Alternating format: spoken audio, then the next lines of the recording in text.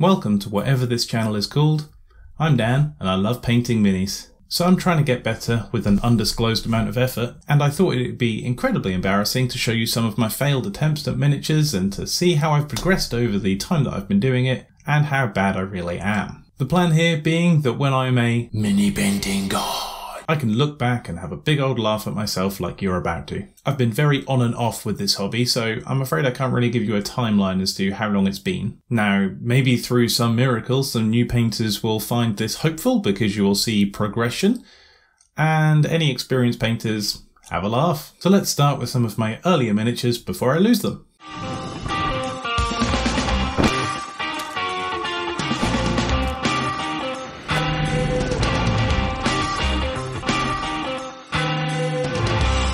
Sadly, these aren't actually my first painted minis, but these are what I could find and they're certainly still embarrassing.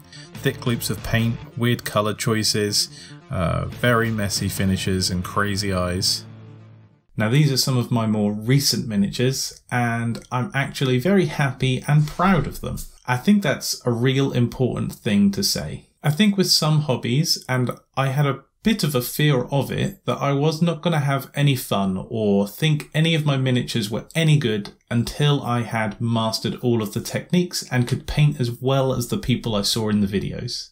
But that's not true. Each time I had a jump in technique or had learned something new, I really liked that miniature. Now, true, later on when you get better and you look back, it's not quite as impressive anymore, but it's important to know that you can feel positive and happy with the results as you are learning. It's also very cool to have old miniatures so that you can look back and see how much better you have got. You might look at it and think not just that it's not necessarily painted as well as you could, but you can see all of the different techniques that you would use now that you couldn't back then. Naturally, I want to get better at everything to do with miniature painting. So hopefully with painting more, just as a general skill level will rise.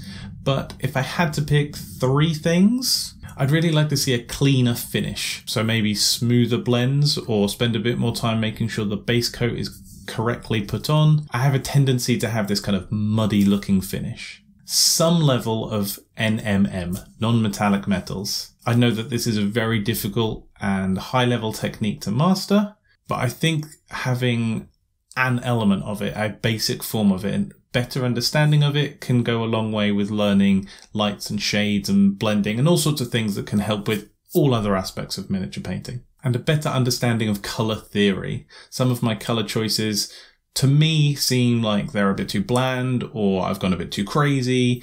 Um, so a better understanding of what works well, when I should use what, what maybe I should mix together to get better results. So there you go, you've seen some of my more and less embarrassing miniatures. I'm going to be making an awful lot of videos of painting miniatures, and I think having that level of knowing someone or some people, even if I have no idea who you are, and maybe there won't be any views, but the possibility that people can see these miniatures will hopefully make me put a bit more effort into them to get a bit of a better end result.